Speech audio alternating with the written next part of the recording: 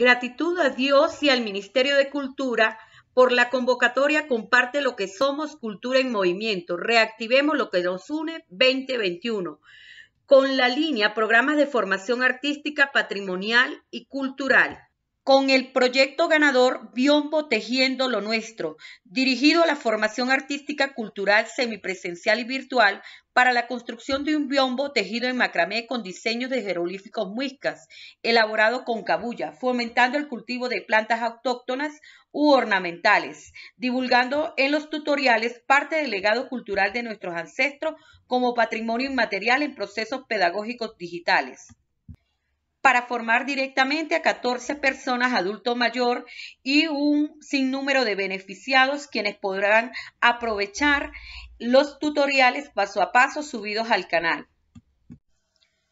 Soy Glenis Tuta de Creaciones Calzarte. A continuación, el paso número 4, tejido de la rana.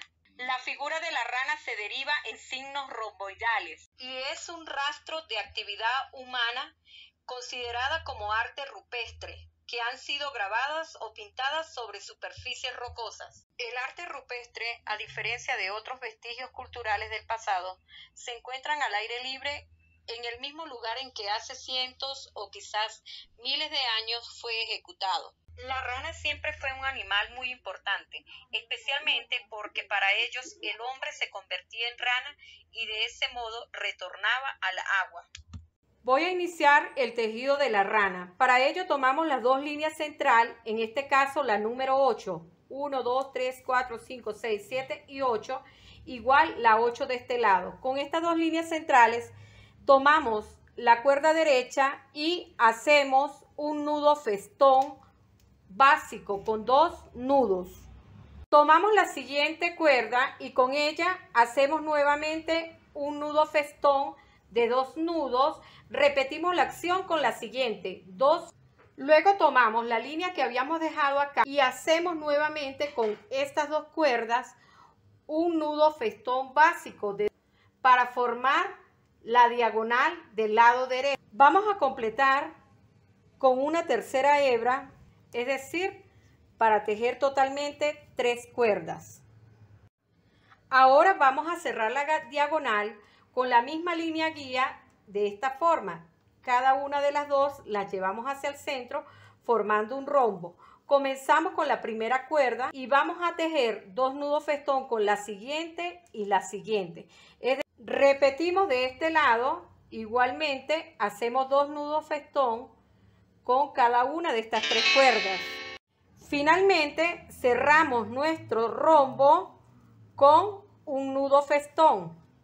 Y así nos debe quedar el rombo que va a representar la cabeza de nuestra rana.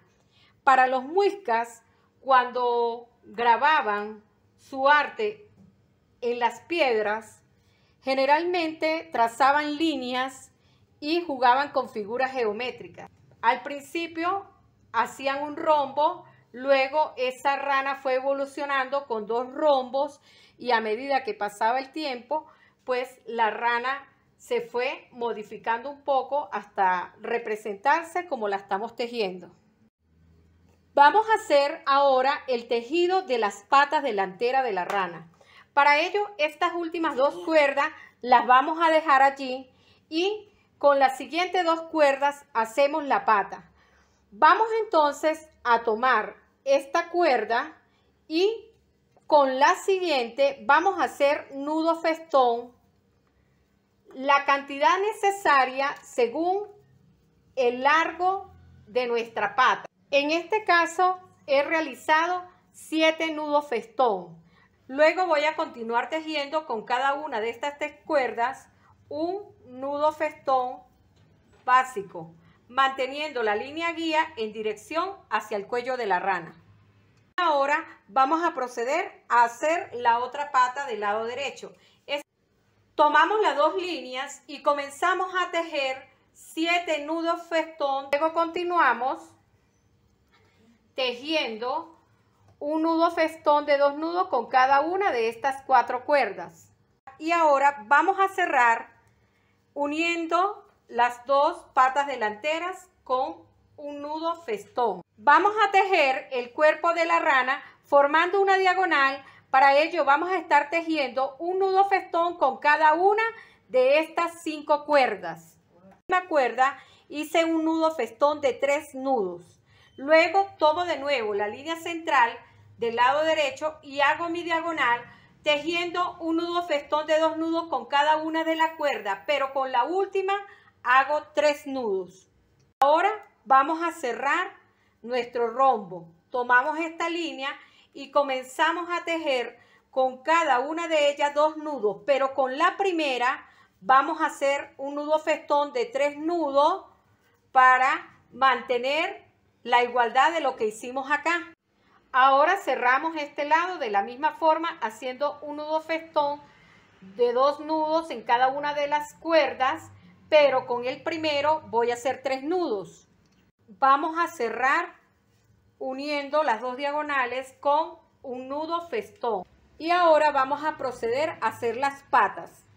Tomamos nuevamente esta línea central y voy a tejer con cada una de ellas dos nudos festón hacia el lado izquierdo.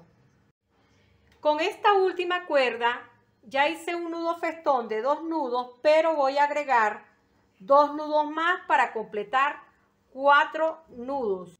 Vamos a regresar con cuatro nudos para hacer el doblez de las patas de la rana. Luego continuamos tejiendo nudo festón con cada una de estas cuerdas haciendo un nudo festón de dos nudos. Hemos llegado acá con los dos nudos festón, cambiamos de mano nuestra línea guía y ahora vamos a tejer con cada una de estas cuerdas dos nudos festón. He tejido esta última cuerda realizando un nudo festón con cuatro nudos. Ahora tomamos esta línea que habíamos dejado a un lado y con esa vamos a realizar un nudo festón de dos nudos. Ahora tomamos la última cuerda que habíamos dejado y con ella también realizamos un nudo festón de dos nudos. Así nos debe haber quedado la pata del lado izquierdo. Vamos a repetir el proceso para hacer la pata del lado derecho.